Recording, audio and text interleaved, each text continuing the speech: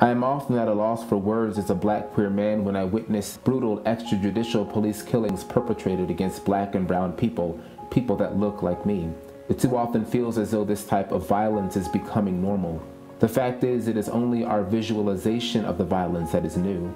The violence itself is part of a long, often unspoken arc of American history wherein black and brown people carry the crushing weight of systemic racism. Black Lives Matter is a cry against this prevailing sinful practice of silencing the oppressed. Jesus did and said as much when he walked among the oppressed, hearing voices others, even his disciples, would rather not. Perhaps the vocation of the church is to follow Jesus into those oppressed spaces and to amplify silenced voices.